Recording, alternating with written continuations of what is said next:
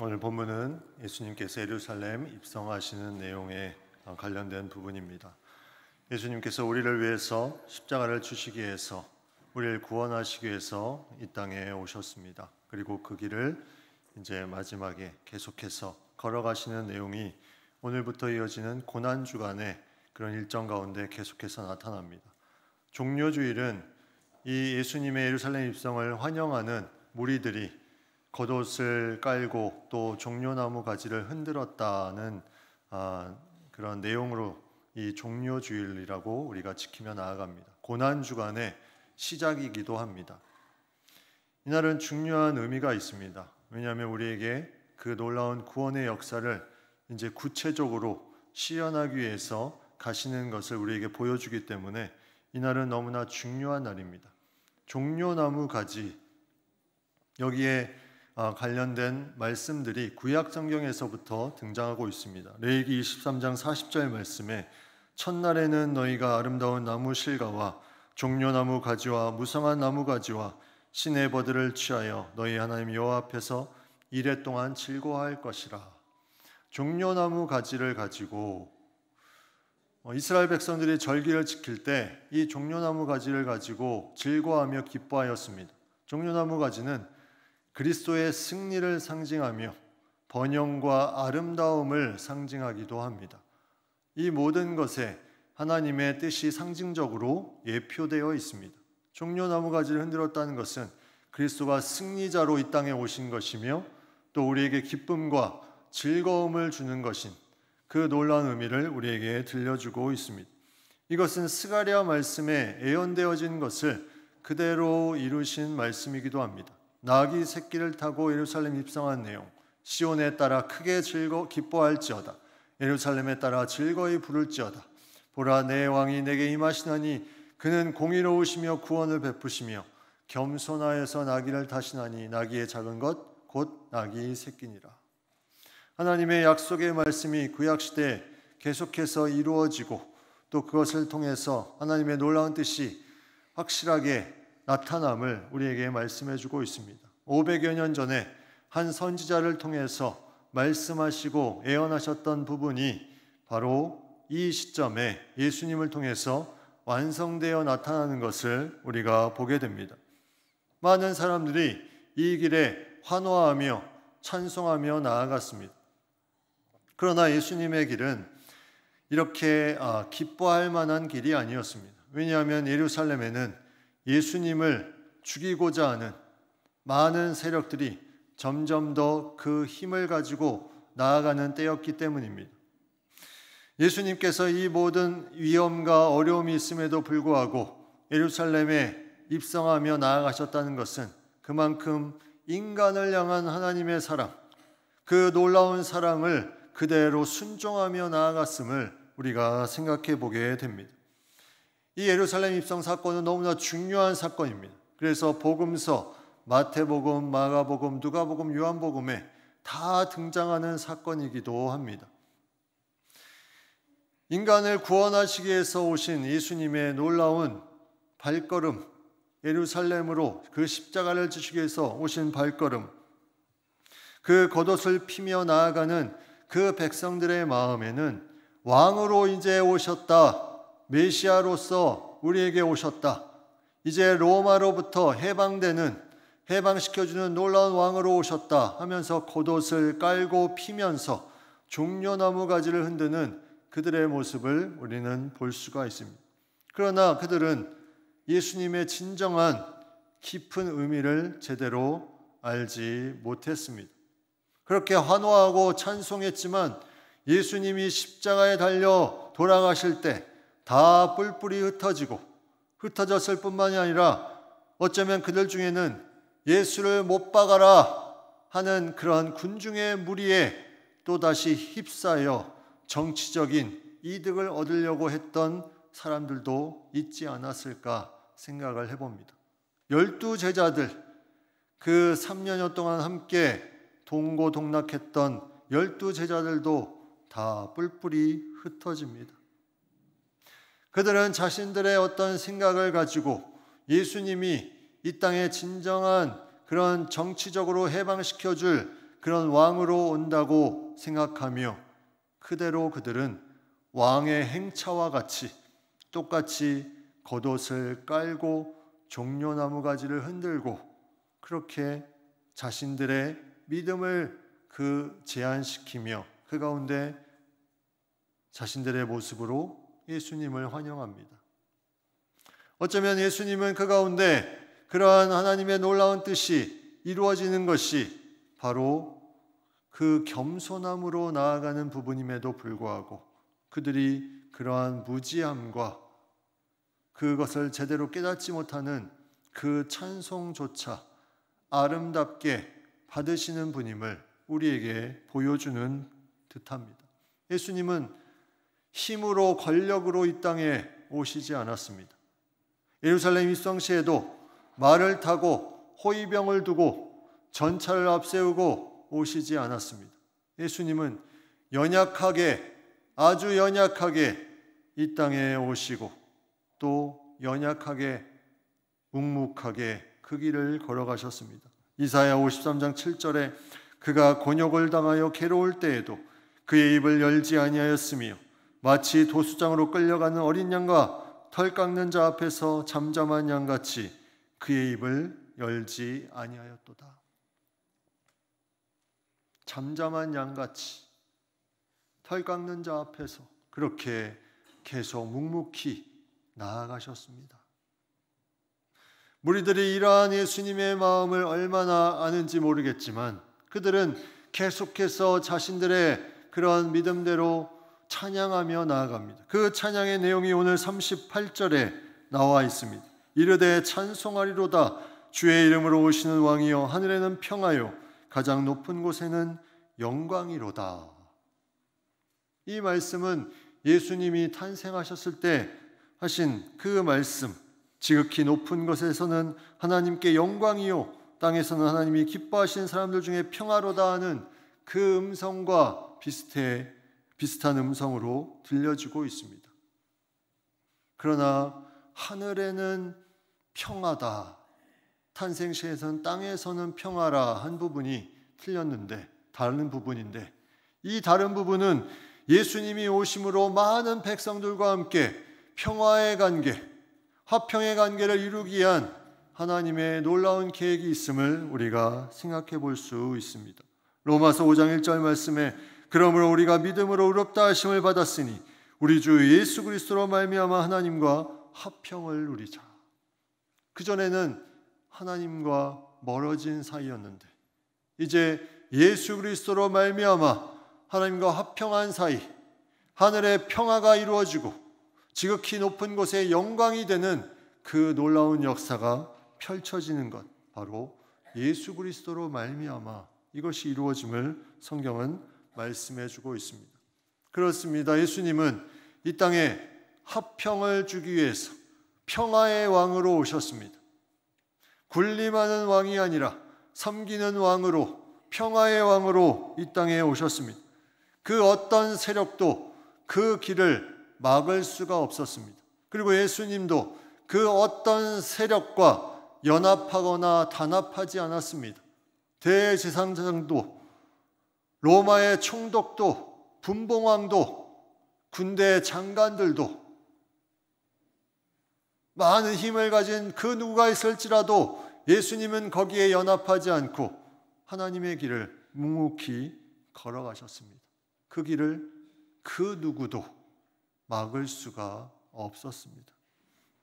예수님은 외적으로는 이러한 자신을 죽이려는 세력이 있는 어려운 상황에 처했습니다. 예루살렘 입성 그러한 위험한 상황이었습니다. 그럼에도 예루살렘에 들어가셨습니다. 그런데 더 아픈 것은 내적으로 자신과 함께 했던 많은 제자들이 뿔뿔이 흩어지는 것, 또 그 중에 한 제자가 자신을 팔 것을 알면서 부인할 것을 알면서도 그 길을 걸어 가셨다는 것입니다. 예수님은 예루살렘 입성하시기 전에 제자들에게 죽음과 부활에 대해서 세 번씩이나 분명하게 말씀하셨습니다. 그럼에도 한 제자, 수제자라고 하는 베드로가 주여 크리마옵소서 이 일이 결코 죽게 미치지 아니할 것입니다.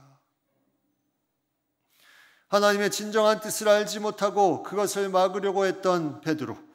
네가 하나님의 일을 생각하지 않고 사람의 일을 생각하는도다 책망을 듣게 됩니다. 제자들이 이러한 무지 가운데 계속해서 예수님의 뜻을 제대로 몰랐지만 그들은 그 모른 중에 자신들의 생각에 예수님을 환호하며 찬송합니다. 그들이 알게 되는 순간 그 순간은 예수님이 영광을 받으신 후에 부활하고 승천하신 후에 비로소 깨닫게 됩니다. 요한복음 12장 16절에 제자들은 처음에 이 일을 깨닫지 못하였다가 예수께서 영광을 얻으신 후에야 이것이 예수께 대하여 기록된 것임과 사람들이 예수께 이같이 한 것임이 생각났더라. 알지 못했습니다. 깨닫지 못했습니다. 그러나 말씀대로 이루어지는 것을 통해서 그들이 그때서야 깨닫고 생각이 바뀌기 시작합니다. 우리는 예수님의 자녀라고 말을 합니다. 그러나 3년 동안 예수님과 동고동록했던 이 제자들도 마지막 어려운 때가 오니까 고난의 때가 오니까 그렇게 뿔뿔이 흩어지며 부인하며 나아갔던 그 모습. 우리가 예수님을 더 알아야 됩니다. 더 깊이 만나야 됩니다. 더 깊이 예수님과 함께 해야 됩니다. 그리해야 우리는 마지막까지 뿔뿔이 흩어지지 않고 잘 달려갈 수 있습니다. 더 깊이 만나도록, 더 깊이 예수님을 알도록 내가 지금 아는 예수님, 그 예수님보다 더 깊이 나에게 사랑을 주신 그 예수님을 우리는 깨달아야 됩니다. 그것이 우리의 삶의 중요한 나의 삶의 중심이요. 나의 근원이기 때문입니다. 이렇게 예루살렘 입성하는 제자들의 또 무리들의 이러한 모습 가운데 그들이 진정 예수님에 대한 모르는 가운데 그 찬양은 계속됩니다. 그 모습에 그 주변에 반대하는 세력이 일어납니다. 그들은 바리새인들이었습니다. 그들은 예수님이 왕이라고 칭함을 받는 것이 못마땅했습니다. 정말 왕이 되면 자신들의 입지가 완전히 역전되기 때문에 그것이 용납될 수 없는 일이었습니다. 그래서 뭐라고 말하냐면 당신의 제자들을 책망하소서 이렇게 말합니다.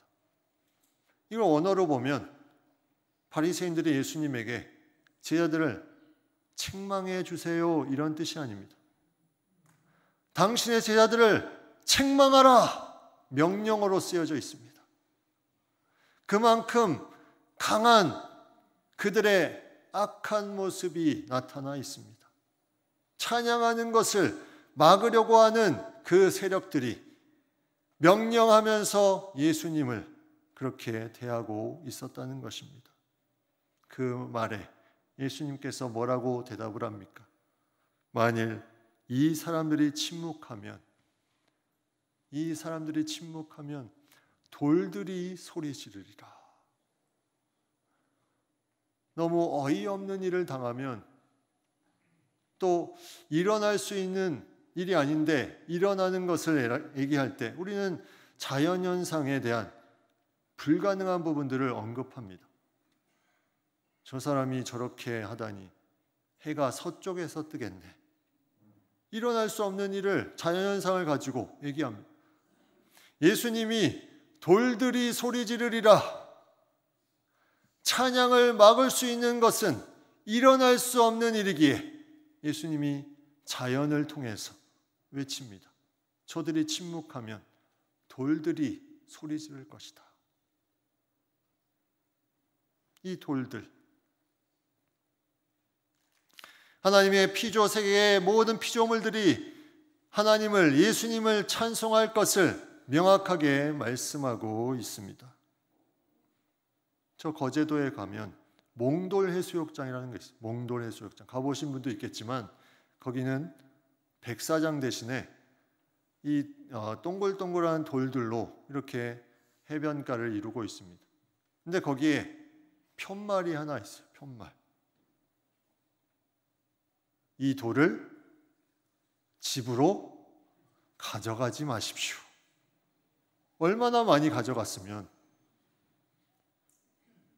저는 이 말씀 준비하면서 그 편말이 생각이 났습니다. 왜 가져가지 말라고 했을까? 돌들이 찬양해야 되는데 방해하지 마십시오. 돌들이 찬양해야 됩니다.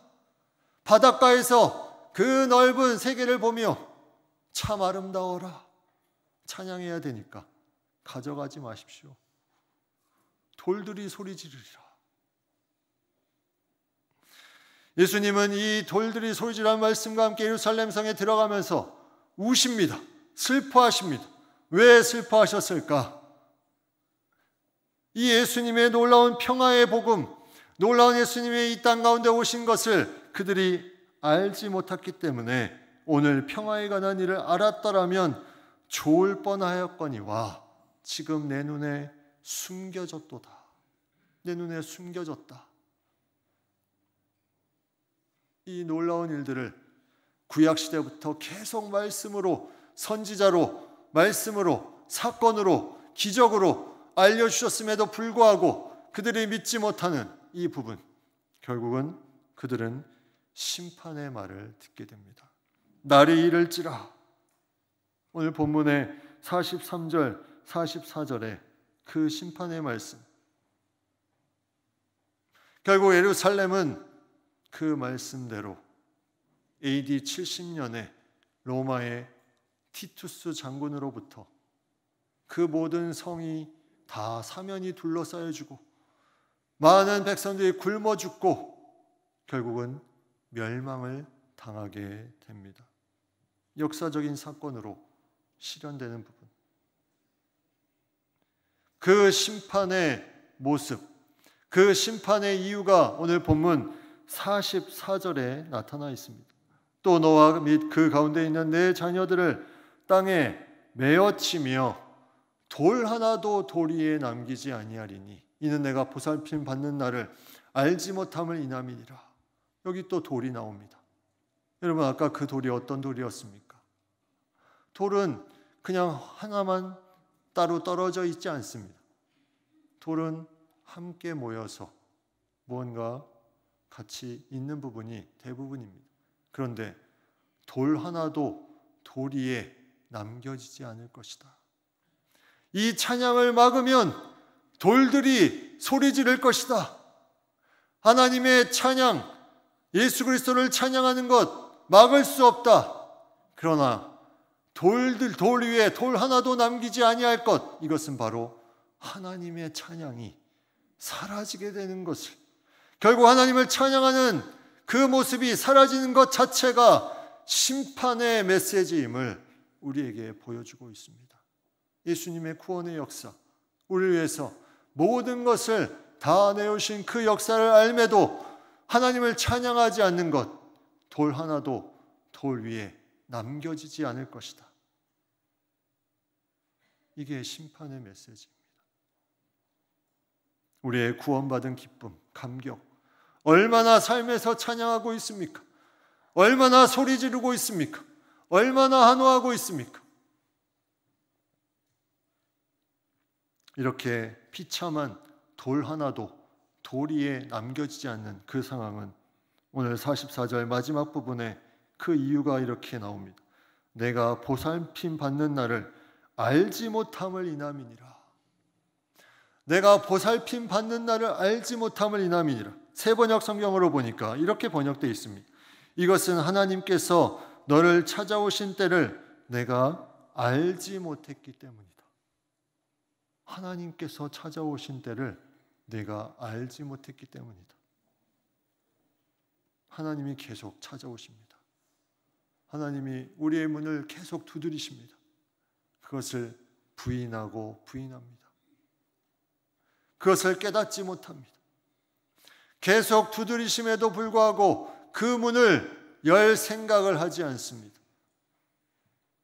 결국 그것이 이러한 돌 하나도 돌 위에 남기지 않는 하나님의 찬양이 사라진 삶을 사는 심판의 길을 갈 수밖에 없는 이유라고 오늘 성경은 말씀하고 있습니다. 여러분 예수님의 길을 더 깊이 우리가 묵상해야 됩니다.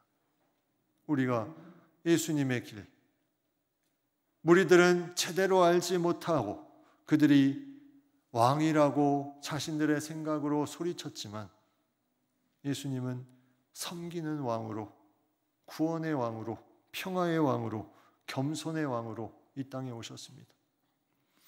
제사장으로 이 땅에 오셨지만 예수님은 친히 제물로 우리 죄를 위해서 그 몸을 다 들이셨습니다. 선지자로 이 땅에 오신 예수님, 그 자체의 말씀이 되셔서 그 걸음걸음마다 놀라운 주의 복음의 말씀을 우리에게 들려주고 계십니다. 우리는 이 놀라운 주님의 길을 묵상하며 나아갑니다. 우리가 예배 말씀 후에 함께할 이 성찬이 그러한 예수님의 몸과 피를 나누며 그 은혜에 합당하게 살아가도록 결단하는 시간이 됩니다. 우리는 일어나 주님과 함께 담대하게 나아가는 신분입니다. 우리를 택하심과 부르심을 기억하며 예수님이 우리를 위해서 걸어가셨던 그 길을 우리도 묵묵히 묵묵히 주님과 같이 따라가는 우리 모든 성도님들 다 될 수 있기를 간절히 바랍니다. 기도하겠습니다. 하나님, 우리는 찬송합니다. 어떠한 상황이 올지라도 주님을 찬송합니다.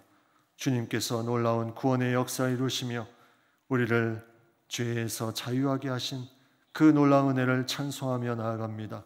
마지막까지 이 걸음을 잘 걷게 하시고 어떠한 상황 속에서도 예수님의 찬양 받으심이 변함이 없이 이 땅에 차고 넘치는 것을 우리가 믿음의 눈으로 바라보며 우리도 그 가운데 함께 하나님을 찬양하며 높이는 저의 삶이 되게 하여 주시옵소서 예수님의 이름으로 기도드립니다. 아멘.